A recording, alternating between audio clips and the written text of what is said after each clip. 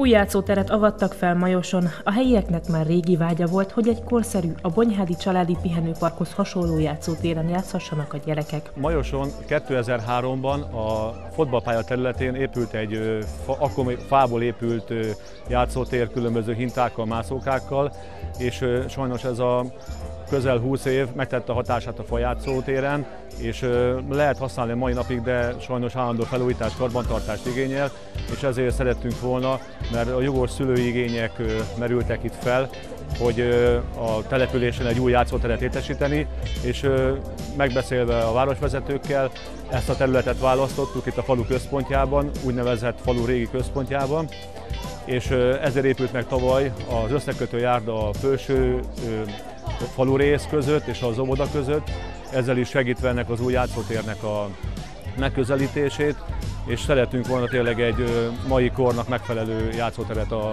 településen létrehozni. Most megvalósult, amit át tudtunk adni ezelőtt egy pár perccel, ami az itt élő fiatal családoknak egy nagy öröm, és én bízok benne, hogy akik Majost fogják választani lakóhelyüknek, hogy ez is egy döntési szempont lesz, hogy a településen van egy, egy modern új játszótér. De igyekszünk a, a település különböző városrészein továbbra is fejleszteni ezeket a játszótéri elemeket, ez volt a második állomásunk.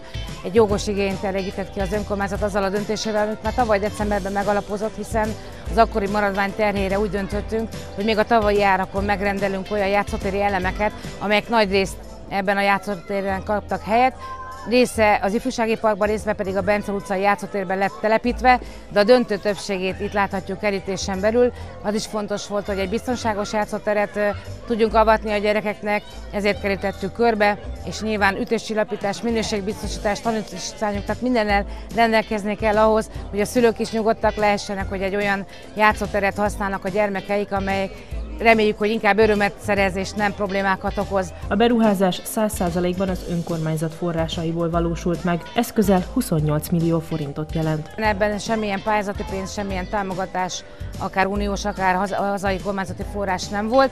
Ezt a város a saját erejéből gazdálkodta ki, és a saját önkormányzati döntésünk alapján valósulhatott meg Elsősorban a Bonikom Kft-t szeretném kiemelni, aki segítette a munkájával, hogy határidőre a gyereknapra elkészülhetett. Bízom benne, hogy a majosiak örömmel fogadják ezt a beruházást. Szerintem a vágóképeken is látszik, hogy nagyon gyorsan birtokba vették, és remélem, hogy tudjuk folytatni a sort, hiszen ezzel nem állunk meg, nem csak játszótérfejlesztés terén, hiszen már dolgozunk és a tervek készülnek a fájó lakótelepen. Szeretnénk egy családi pihenőparkhoz hasonló méretű nagy attrakcióval készülni a következő időszakban, és Egyébként Majusra visszatérve pedig a játszótérektől eltekintve egyéb beruházás a következő feladat pedig a Majusi Kultúráznak a felújítása, amelyre már forrást az önkormányzat biztosított a februári költségvetési rendelet elfogadásával.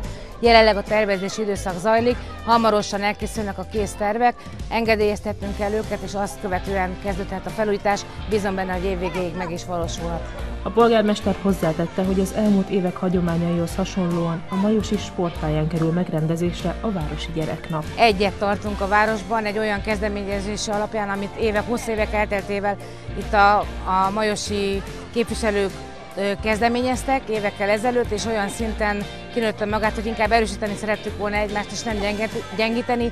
Egy városban egy gyermeknapot szervezünk, legyen ez a majos, így van ez évek óta. Sajnos tavaly a veszélyhelyzet miatt ez elmaradt, ezért még nagyobb erőkkel készültünk erre a rendezvényre. Nagyon sok attrakcióval, színes programmal várjuk majd a fiatalokat, a gyerekeket, az ifjú családokat, de számos olyan attrakció lesz, amiért érdemes lesz kilátogatni a Majosi Városi Sporttelepre, Jövő héten szombaton, június 4-én délután várunk mindenkit szeretettel az önkormányzat nevében.